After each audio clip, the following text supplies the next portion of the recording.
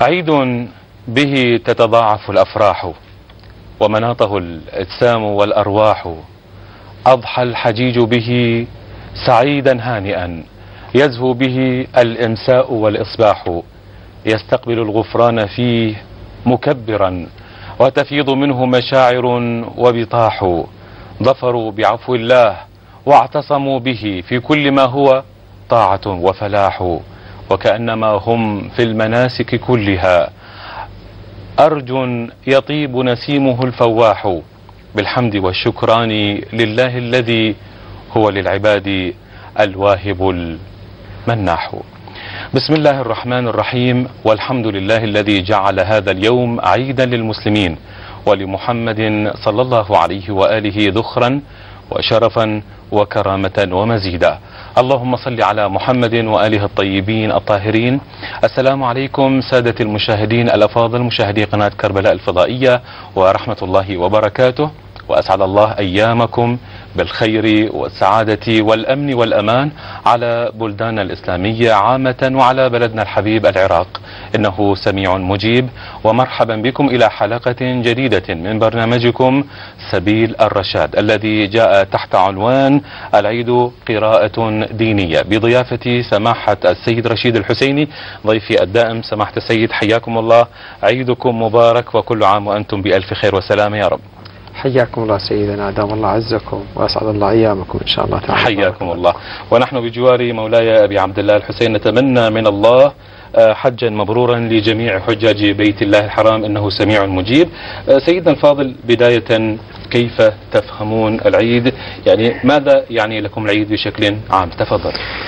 بسم الله الرحمن الرحيم الحمد لله رب العالمين وصلى الله على محمد وعلى آله الطيبين اللهم صل على الطاهرين محمد وعلى محمد. أحييكم وأحيي جميع الإخوة والأخوات المشاهدين. في الواقع آه، مشكلة الناس ومشكلة العوام أنه هناك أزمة في عموم المفاهيم. عندنا مشكلة المفاهيم المفاهيم بالنسبة للناس وبالنسبة لل- للمسلمين بشكل خاص. هناك تشويش واضح وفهم غير صحيح في كثير من المفاهيم الدينية. نتيجة التربية ونتيجة التنشئة على مفاهيم معينة وتسير الناس والبشرية على مفهوم معين ويتصورون بعد فترة أن هذا هو المفهوم الصحيح. مثلا في كثير من الأحيان يعتقدون أن مفهوم الحجاب البعض الآن يقرأ مفهوم الحجاب أنه تقييد للمرأة وتكبيل لحريتها. والبعض يتصور أنه الرشوة والتزوير والغش هو ذكاء وشطارة. هذه في الواقع كارثة في مجتمعاتنا الإنسانية والإسلامية على أنه المفاهيم تنقلب رأس على عقب. واضح. من المفاهيم التي وقعت فيها إشكالية هي مفهوم العيد. العيد لما نقرأه بقراءة دينية وإسلامية يختلف بشكل كبير عما هو قراءة آه، سطحية وعامة عند الناس الناس يعتقدون أن العيد هو لبس للجديد. وتهنئة للآخرين وعند شريحة من الناس أخذ العيدية والمكافأة. وعند شريحة أخرى العطلة عن العمل والجلوس في عن العمل وعند مجموعة أخرى أيضا العيد حالة من الانفتاح والحرية المطلقة. سيدنا عفوا آه، تذكيرا لكلامكم. بعض الناس أو الأغلبية يعتقدون العيد عبارة عن عيدية عن ملبس جديد يعني هاي الأجواء. هل لابد علينا أن يعني آه، نعطي نفس المفهوم أم لدينا مفهوم آخر أن نكون عليه إن شاء الله؟ لا إشكال ولا ريب أن هذه المفاهيم التي عند الناس بعضها في الواقع مفهوم صحيح ولكن آه، حسب تعبير الفقهاء آه، فيه عموم وخصوص. أنه يخصصون مفهوم العيد في أخذ العيدية أو مفهوم العيد في لبس الجديد. هذا فهم ضيق جدا للعيد. المفهوم العيد ليس هذا. أو البعض يتصور أن العيد لا. العيد هي حالة من الحرية المطلقة. إذا كان أكو شيء حرام فكل شيء مباح. فإذا كان عيد الفطر أو عيد الأضحى يعني يمكن لنا أن نلتقي مع بعض سواء كنا على مح على نسبة من المحرمية أو لا. سواء كان هذا الأمر طيب أو غير طيب سواء كان هذا التعامل تعامل ديني أو غير ديني نحن في سعة من أمرنا حسب تعبير البعض إحنا في حرية. وسيدنا أنه اليوم يوم العيد مو كل يوم يوم واحد بالسنة. فخلينا إحنا مرتاحين. هذه المفاهيم في الواقع هي مفاهيم مغلوطة. اسمحوا لي أنا أنقل لكم آه، صورة آه، مصغرة للعيد الذي آه، في مفهوم أئمة أهل البيت. سلام الله عليهم أجمعين. في زمن المأمون العباسي عندما استقدم الإمام الرضا إلى خراسان وفرض عليه أن يكون وليا للعهد. الإمام قبل بذلك على حال مرغما. وعند العيد أراد المأمون من الإمام الرضا أن يقوم بصلاة العيد. وتعرفون أنه صلاة العيد عند السلاطين ماذا تعني؟ أفضل العطور والبخور وال والملابس الجديدة والفخامة في المظهر والمراكب المس... الضخمة والفخمة. فعندما أرسل الإمام الرضا هذا الوفد على أن يستقدم الإمام الرضا إلى صلاة العيد وجد أن الإمام الرضا صلى الله عليه خرج بهيئته المتواضعة بثوب نظيف طيب ولكن جدا عادي بعمامة رسول الله صلى الله عليه وآله صلى الله عليه وخرج حافيا غير منتعل فطلبوا منه أن يركب لم يرضى ذلك وخرج إلى مكان الصلاة بهذه الهيئة وهو مكبر ومهلل. ومهلل نعم. فوصل والناس وراءه يهللون ويكبرون وتعلو الأصوات بالتكبير والتهليل والشكر والحمد لله سبحانه وتعالى. هذا الخبر لما وصل إلى المأمون العباسي حاول بشكل أو بآخر أن يمنع هذه الصلاة لأنها أصبحت صلاة غير مطلوبة باعتبار أنها صارت تقريبا انتفاضة. نعم. وحالة من دعوة الناس إلى مفهوم جديد الذي يطلبه آل بيت رسول الله صلى الله عليه وآله. ففي الواقع نجد أن مفهوم العيد عند الإمام أو عند الإسلام مفهوما لا أقول لا أقول أنه آه، يخالف المفهوم عند الناس بشكل عام ولكن أقول يخالف مفهوم العيد عند الناس بشكل أو بآخر. لا بد من التصحيح. لا بد من التصحيح ونحن في الواقع في مثل هذه البرامج نريد أن نضع بعض النقاط على الحروف أنه أيها الناس العيد الذي نطلبه منكم ويطلبه الإسلام منكم هو عيدا لا بد أن يكون بوجه آخر وبطريقة أخرى. كيف؟ هذا ما سنتعرض إليه إن شاء الله. إن شاء الله. سيدنا الفاضل يعني آه، يعتبر العيد نقطة جديدة في حياة الإنسان في طاعة الله تبارك وتعالى بما يقوم فيه من أعمال مباركة وعظيمة.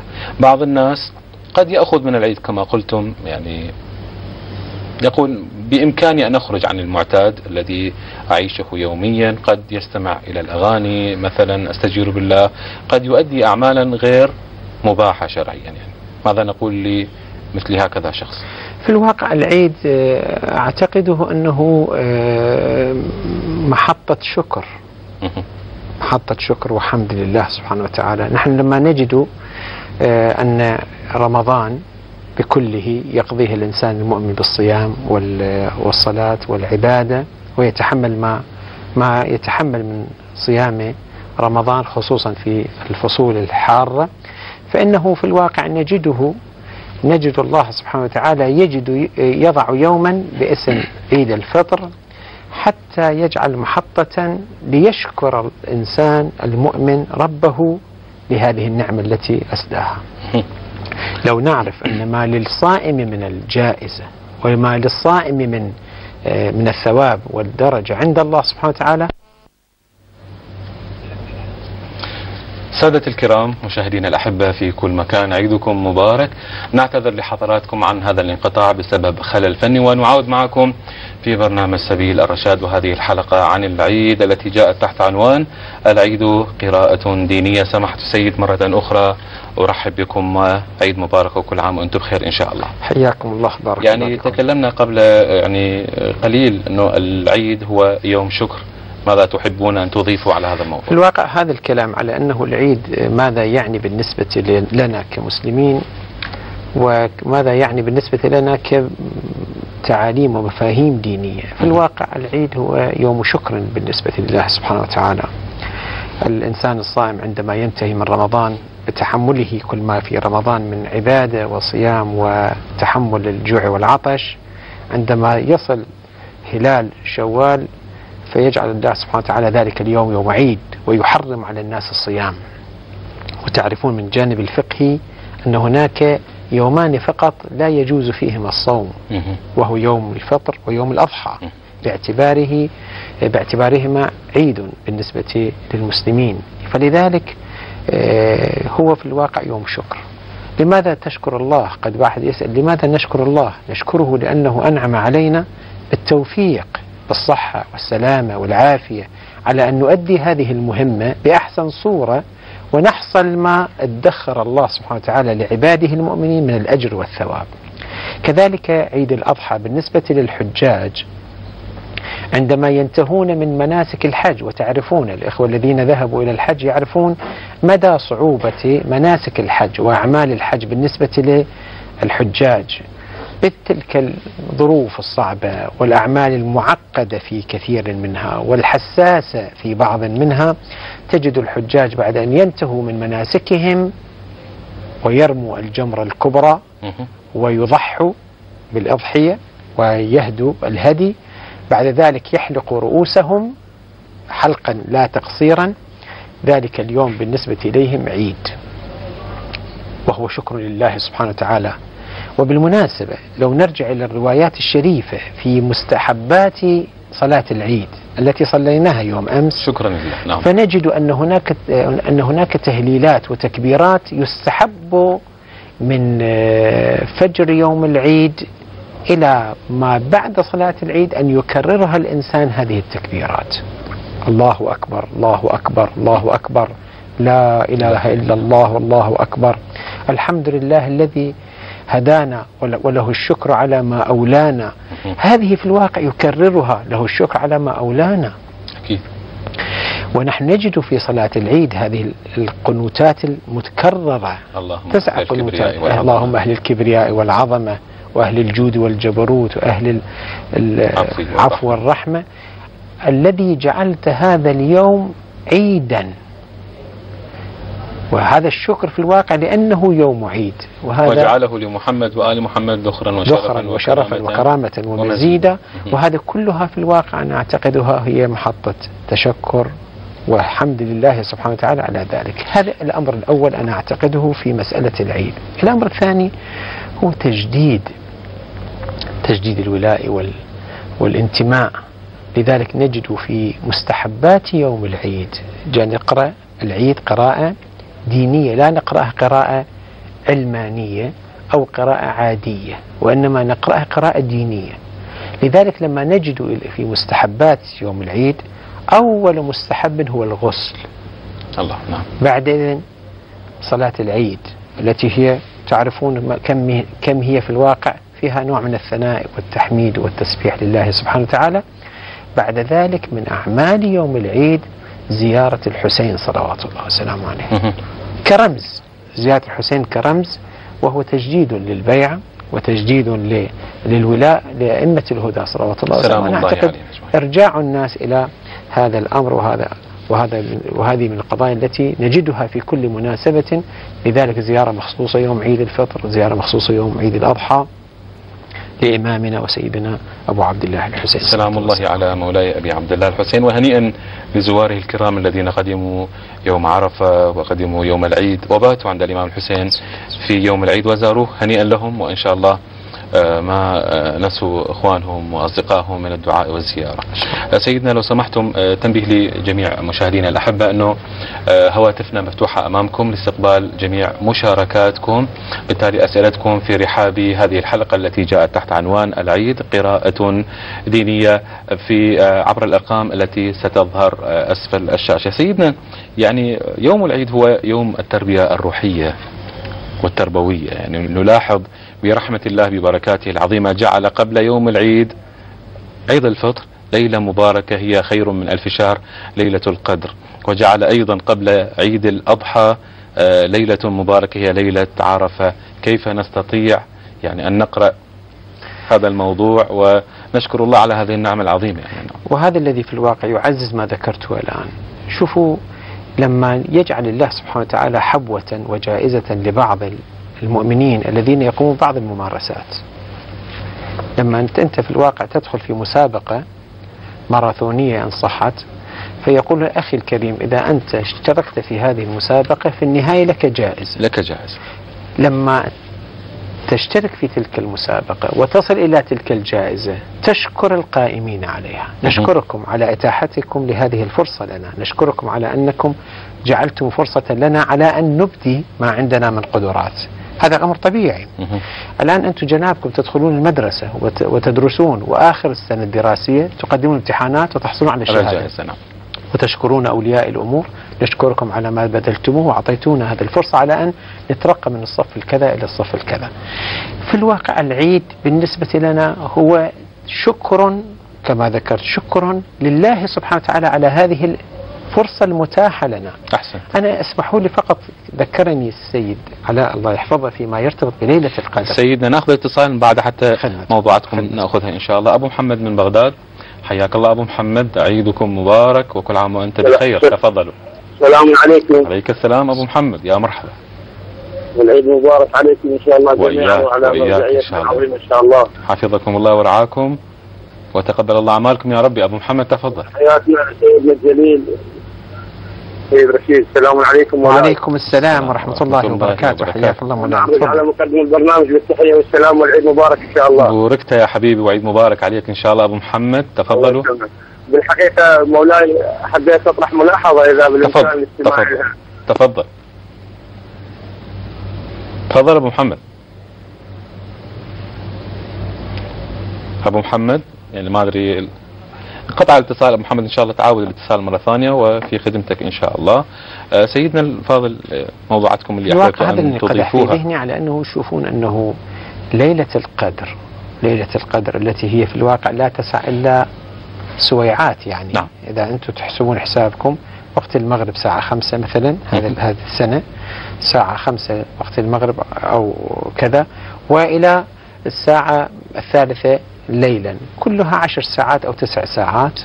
نعم. الله سبحانه وتعالى يعتبر هذه السويعات البسيطة بمثابة قرن من الزمن. قرن من الزمن. تقول سيدنا شلون قرن من الزمن؟ هذا من حسابات. ألف شهر. نعم. خير من ألف شهر. ليلة القدر خير من ألف شهر. ألف شهر لما تكسرون الألف على 12 باعتبار كل سنة 12 شهر راح تطلع تقريبا 83 سنة وكسور. مهم. 83 سنة وكسور. هو ما يقول ليلة القدر كألف شهر. قال خير. هذا الخير هم نخلي عليه في 15 سنة أو 17 سنة قرن من الزمن. يعني رب العالمين ما أريد أقول قرن أقول 83 سنة نفسها. رب العالمين يجعل ليلة واحدة سويعات محدودة يجعلها للإنسان التائب العابد القارئ للقرآن أو المصلي يجعلها بمثابة ثمانين سنة أو ثلاث وثمانين سنة عبادة. واقع هذا يعني واحد آه، لما يفكر فيها شيء مذهل جدا وشيء كبير جدا أن تكون ليلة واحدة بتسع ساعات تساوي بعمر مديد لشيخ عمره 83 سنة أو أكثر مهم. وكل ما يعمل الإنسان في هذه الليلة خير من هذه الثلاث وثمانين سنة أو يزيد ليلا ونهارا لو كان عابدا أو صائما أو مصليا هذه شنو هذه؟ هذه حبوة لم يعطه الله سبحانه وتعالى لأحد إلا لأوليائه الذين يحيون ليلة القدر. فهكذا فرص تعطى للعبيد. لا بد لنا أن نشكر الله سبحانه وتعالى. ورب العالمين يقول لئن شكرتم لأزيد لأزيدنكم. فل- وهذا أيضا عرفة. عرفة وما أدراك ما عرفة. الله. واقع. عرفة أنا كنت أراجع بعض الروايات في مسألة عرفة. أن من دخل عرفة وصحراء عرفات مهم. نعم. في مكة. من دخل إلى صحراء عرفات ووقف من زوال الشمس إلى غروبها. كم ساعة رجاء؟ من زوال الشمس إلى غروبها. يحسبون معانا المشاهدين خمس ساعات. ساعة 12 يأذن الظهر ساعة خمسة خمسة ونص تنتهي. قول الساعة ستة انتهت. ست ساعات من وقف في عرفات من زوال الشمس إلى غروبها يوم التاسع من ذي الحجة ودعا الله بالغفران والمغفرة والحاجة والصحة والعافية. تقول الرواية لا يخرج من هذا الموقف إلا كمن ولدته أمه. كمن ولدته أمه. يعني كأنما هذا الإنسان الذي دخل في عرفات في خلال هالسويعات يخرج منها كان الآن مولود من والدته. سنكمل الحديث سيدنا لو سمحتم. نأخذ فد- اتصالين من كربلاء. أحمد من كربلاء. حياك أحمد. كل عام وأنت بخير. ويا رب عيدكم مبارك. عليكم. تفضل. عليكم السلام والرحمة. يعطيكم سعيدة كل عام وأنتم بخير. وأنتم بخير يا ربي إن شاء الله. حياك يا أحمد. تفضل. عام الحجاج بيت الله الحرام. وإياك وجميع آه، المشاهدين جميع السامعين إن شاء الله.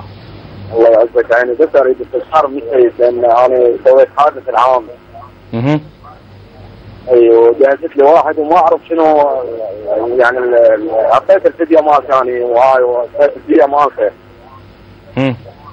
إي فما أعرف شنو يعني شلون ترتيبها سالت عليها بال- بالحضرة قالوا صيام شهرين ما أعرف شلون. فاريد استفسر من السيد. يعني أحمد على رأسنا إن شاء الله.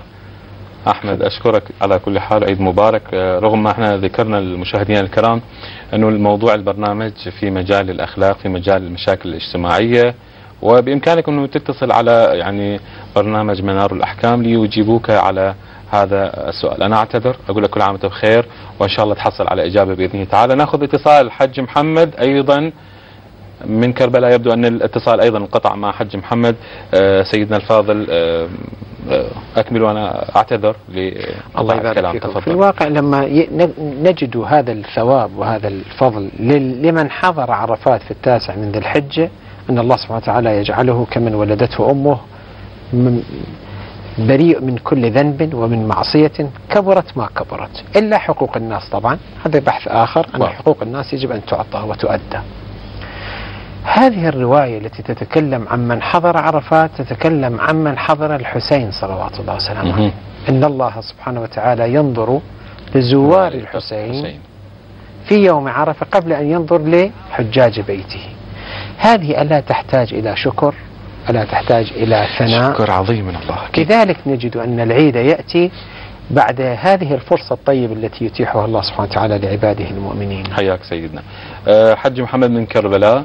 حجينا السلام عليكم. السلام عليكم. عيدكم مبارك. حياكم الله. كل عام وأنتم بخير إن شاء الله يا ربي. بخير. إن بورك شاء يا الله عيد مبارك على كل العراقيين يا رب. آمين يا رب العالمين. العراقيين عيد مبارك وإن شاء الله يعود علينا الجميع بالأمن والسلام والطمأنينة.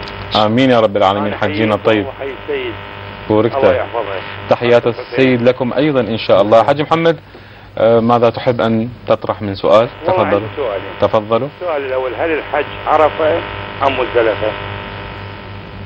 هذا واحد والثاني هل يجوز هل هل يجوز الإحرام من العزيزية؟ آه، والثالث يعني حج ما محمد. هو أفضل وقت للاحرام؟ حج محمد نعم يعني سمعتنا قبل قليل إحنا موضوعاتنا مو فقهيه يا حج محمد مو يعني المأخوذ عن آه، سماحة السيد رشيد الحسيني موضوع ت- يعني آه، فقهية يتكلم فيها أنا أتمنى من جميع أحبائنا المشاهدين الكرام أتمنى أتمنى. نحن ندخل في الأمور الأخلاقية. كثيرة هي الأمور التي قد نتطرق لها كثيرة هي المشاكل الاجتماعية التي قد نعيشها. أنا أعتذر من كل قلبي أعتذر لأحبائنا المشاهدين اللي قد يطرحون يعني بعض المسائل الفقهية. هناك برنامج آخر لا نستطيع يعني أن نتجاوزهم. على كل حال بإمكانكم أن تسألوا آه، في المسائل الفقهية في برنامج منار الأحكام اللي يعرض على قناة وشاشة قن- قناة كربلاء الفضائية. أنا أعتذر حجي محمد ونعاود الحديث مع آه، سماحة السيد رشيد الحسيني. سيدنا آه، العيد الحقيقي للإنسان هو أن يكون قريبا من مولاه وسيده. ليس كذلك؟ وعلى هذا يمكن للإنسان أن يجعل كل حياته أعياد بطاعة الله. وقد قال أمير المؤمنين حديثه المبارك اليوم لنا عيد وغدا لنا عيد وكل يوم لا نعصي الله أو يعصى الله فيه آه، فهو عيد. يعني آه، ماذا يتوجب على الإنسان المؤمن أن يعمل في العيد برأيكم؟ ما هي البرامج العبادية؟ لكن قبل ما تجيبنا آه، على السؤال نأخذ اتصال من الأخت.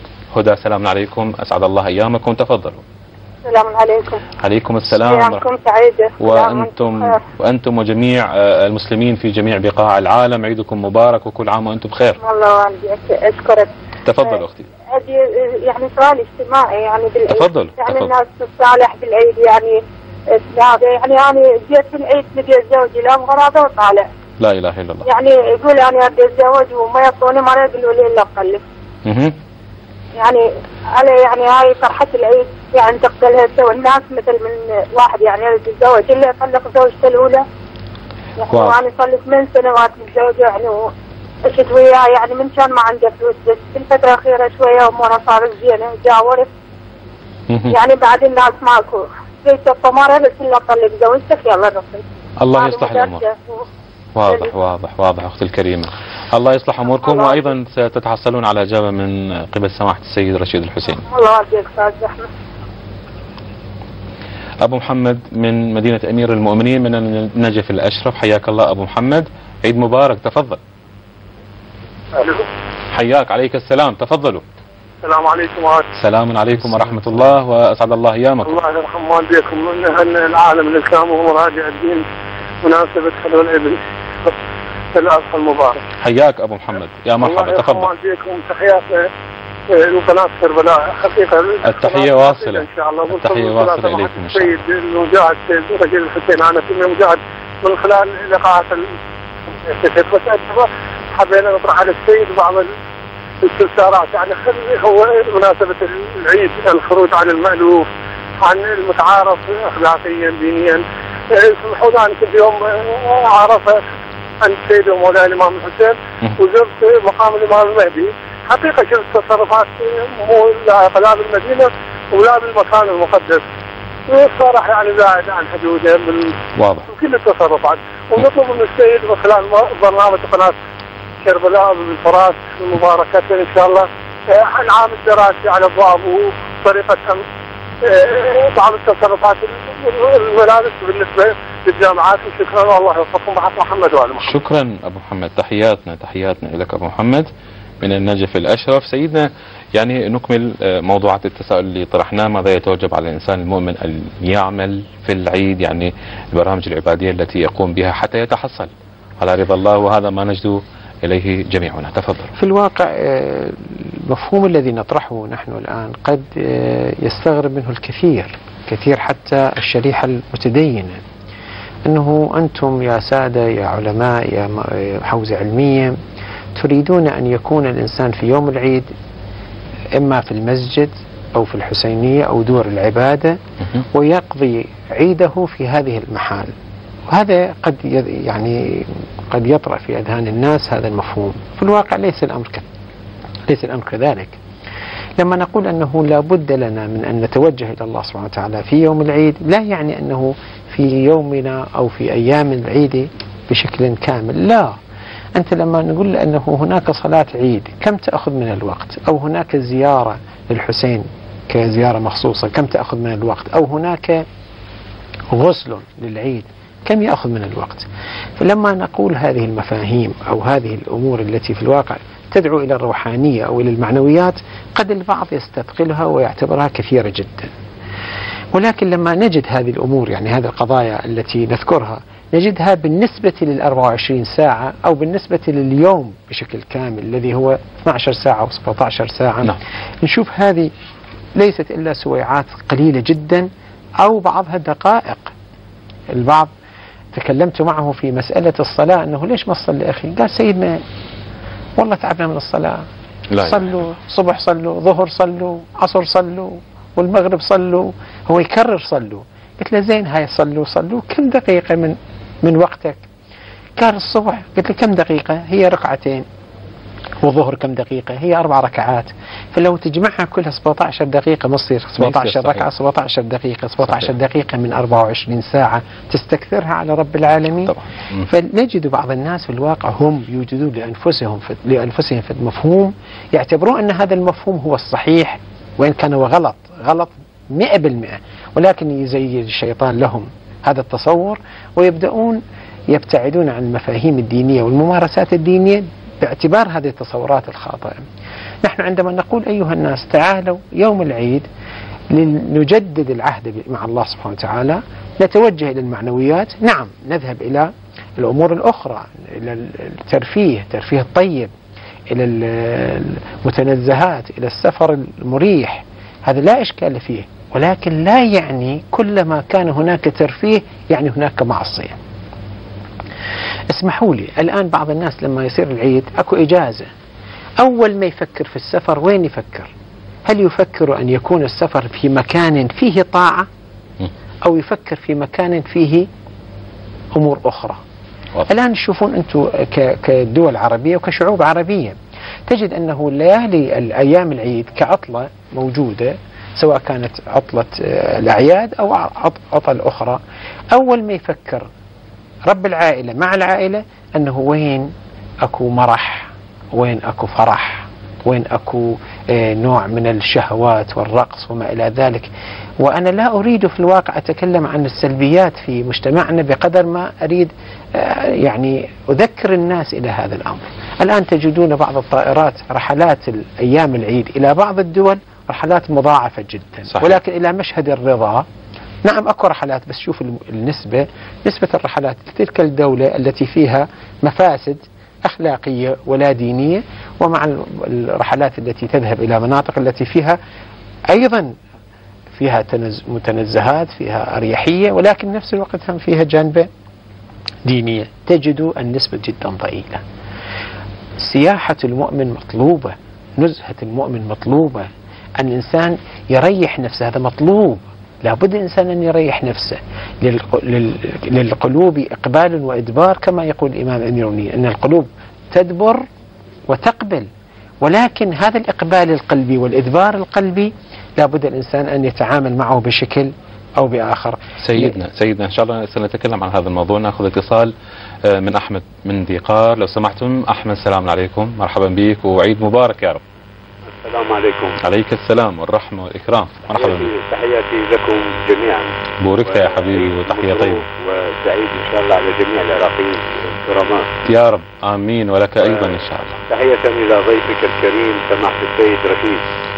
حياكم الله. بارك الله. وجزاكم الله الخير على هذا البرنامج. بوركت يا حبيبي. سماحة السيد إذا يسمح لي الأخ المقدم الكريم. تفضل تفضل يا أحمد تفضل. جزاك الله الخير آه، يعني اريد منك توجيه يعني إلى إلى الأخوة يعني أصحاب الفنادق والمطاعم. يعني مثلا ناس فقدت الإمام الحسين يعني الليلة واحدة في الفندق ب ألف دينار. هو شخص واحد أو شخصين ب ألف وقسم بخمسين ألف. طيب يعني ما هذا الغلاء؟ هو است- استغلال لهذا للناس يعني هذا ما يجوز شرعا يمكن أعتقد أنا لست مفتيا لكن ما يجوز يعني يعني مساعدة مثلا من إخوتنا أهل كرب أهل كربلاء ما شاء الله طيبين. على رأسنا يا هم هم منبع الطيب لأن على رأسنا. آه، للأسف الشديد تتدخل بهم هذه الأمور المادية اللي الزول بين ليلة وضحاها. بوركت. على شغلات مرض أو أحمد، على إن شاء الله شيء. يعني لا قدر الله تروح. اطروحتك لكن- وضحت إن شاء الله أستاذ أحمد. لكن ما ما هذا الغلاء الفاحش يعني في المطاعم أو الفنادق يعني. شكرا. لماذا لا يسامحون الناس ويكونون آه، من من وهم مقابل الامام الحسين يشهد الله. يعني احتراما لقدسية الإمام الحسين رخص ال- الاسعار شوية مثلا رقابة الحكومة العراقية عليهم. واضح. بشيء معين شكرا لك يا أحمد. ووضح وضح إن شاء الله اطروحتك وبالتالي سيجيب عنها سماحة السيد رشيد الحسيني أم محمد من بابل. أم محمد حياكم الله. عيدكم مبارك يا ربي إن شاء الله. تفضلوا مبارك وكل عام وأنت بألف خير وعيدكم مبارك إن شاء الله. كل عام وأنتم بخير إن شاء الله. تفضلوا أم محمد. آه أنا مشكلتي والله أني آه عندي بنتي صار لها سنة متزوجه. آه وهي يتيمة يعني يتيمة الأب. وأنا ربيتهم اثنين أولاد عندي أخ... ربيتهم. وتعبت عليهم وخرجتها وزوجتها وال... و... والان يعني هي مشاكل ويا زوجها. والله شنو على مود تنظيف هي تأدي واجبها وتنظف وهاي عندها طفل صغير تسهر وياه بالليل. نعم. فترجع تنام. تنام لها ساعة ساعتين على نومة ابنها. فهسه حاليا يعني هي جبتها أنا عندي قبل العيد. وطفلها عندي وأني من زوجت لحد الآن أنا أصرف عليها. لكن زوجها دائما يستمع لأهله وما واضح. لزوجته ولا ينصف وياها. حياك. أم محمد. يعني إحنا الزوج اللي اللي ما اللي ما يوظف ويا زوجته شنو يعني؟ شو يسوون الأهل؟ واضح واضح أم. محمد. وضحت الفكرة أم محمد. شكرا لكم. وإن إن شاء الله يصلح أموركم بحق محمد وآله الطيبين الطاهرين. يعني سيدنا الوقت يمضي سريعا يمكن معنا عشر دقائق على نهاية البرنامج. نتمنى أن نستفيد في رحاب هذا العيد المبارك. نستفيد الكثير من يعني معلوماتكم الطيبة. هنا يعني في الأعياد الأربعة للمسلمين عيد الفطر عيد الأضحى آه، عيد الغدير عيد الله الأكبر وبالتالي يوم الجمعة. يعني من ضمن أعمالها المتكررة سماحة السيد آه، دعاء الندبة. هنا بودي أن أسأل ما هو يعني خصوصية هذا الدعاء؟ وتواجده مع هذه المناسبات.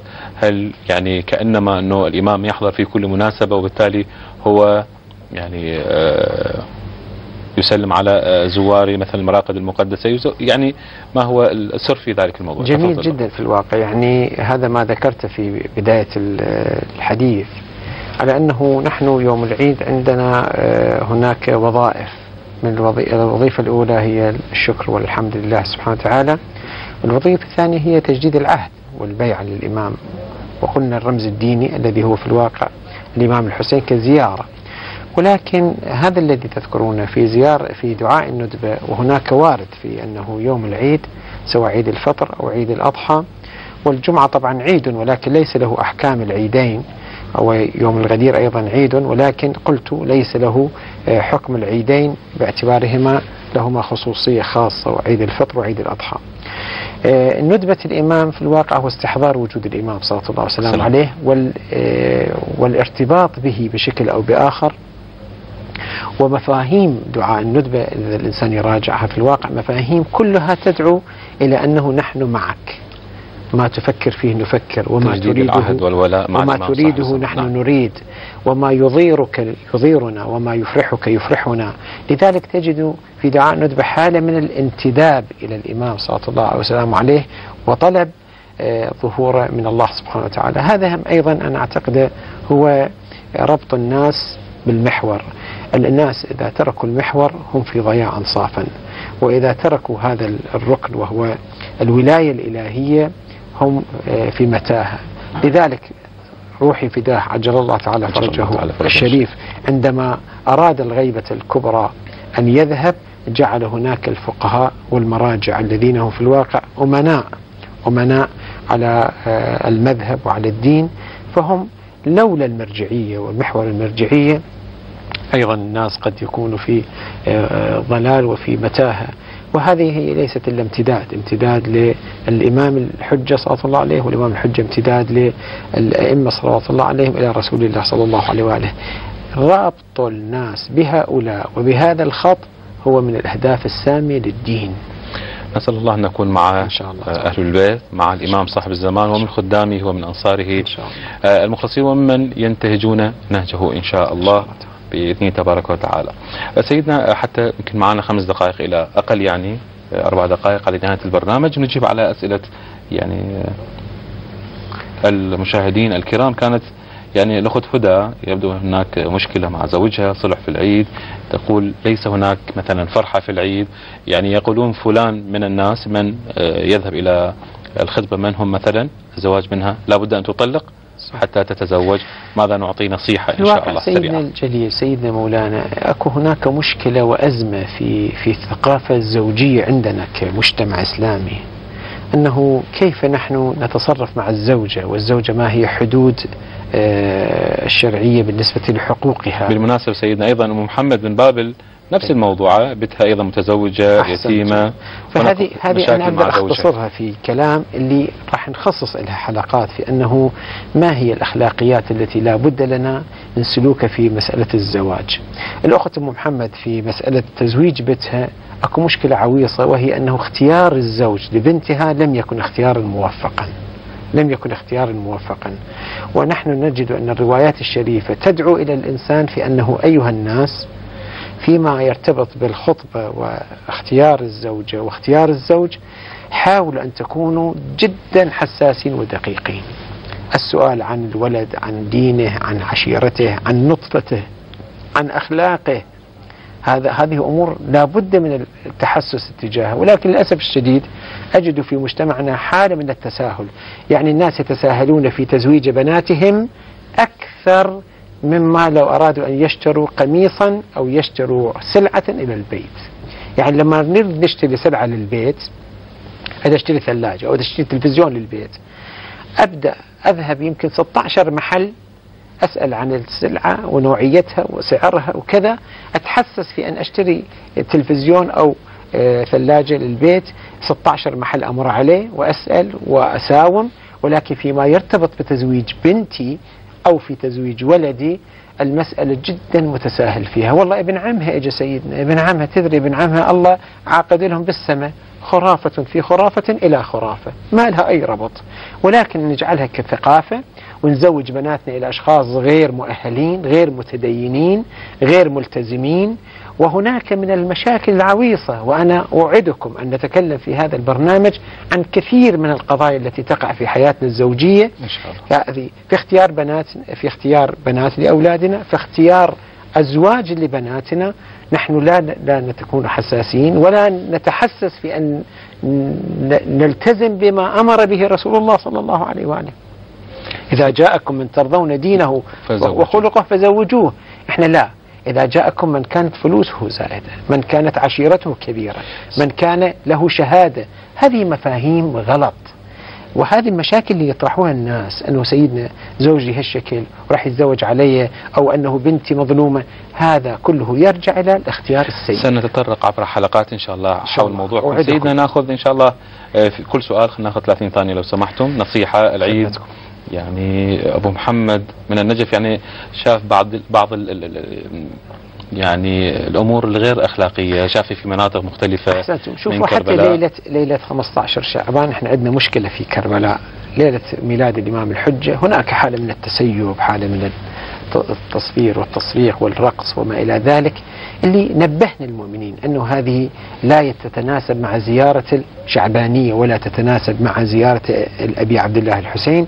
ولكن المشكلة سيدنا المشكلة أن الناس مع الجو العام. الجو العام شلونه؟ شوف الناس يتلونون بذلك الجو العام. انت أخلق لك جو أخلق لك جو ديني جو حزين أو جو عرفاني. الناس في الواقع لا يخرجون إلا النوادر. أما إذا كان الجو أضواء وموسيقى وهاي للأسف هاي التواشيح الجديدة اللي خرجت باسم الدين هي لها حالة من الموسيقية وحالة من الدبكة والرقصة. هذه هذه تحرك الشباب إلى هذا النوع من ال والأجواء ال- الاختلاط. أجواء الاختلاط تساعد على ذلك. فلذلك نحن نعتقد أنه إذا أردنا أن نصلح لابد أن نصلح الجو. نسأل الله نسأل الله أن يصلح أمور المؤمنين والمؤمنات بمنه وبركاته. سيدنا انتهينا من لحظاتنا الجميلة في هذا العيد في هذه الحلقة. شكرا جزيلا لكم سيدنا الفاضل وكل عام وأنتم بألف خير إن شاء الله. الشكر موصول أكيد لجميع مشاهدينا الكرام. ختاما نقول اللهم ارزقنا حج بيتك الحرام في عامنا هذا وفي كل عام واغفر لنا تلك الذنوب العظام. فإنه لا يغفرها غيرك يا رحمن يا علام. شكرا جزيلا لكم مشاهدينا. عيدكم مبارك وفي أمان الله وحفظه ورعايته.